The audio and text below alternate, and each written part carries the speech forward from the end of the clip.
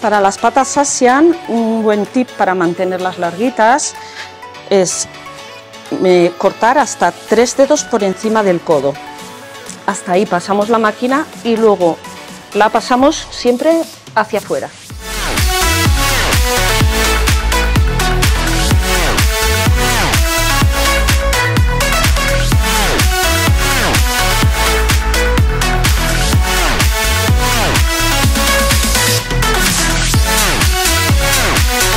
Vale, en esta zona, como el cuerpo va muy cortito y las patas van más largas, cortamos hacia, pasamos la máquina hacia afuera para hacer un degradado.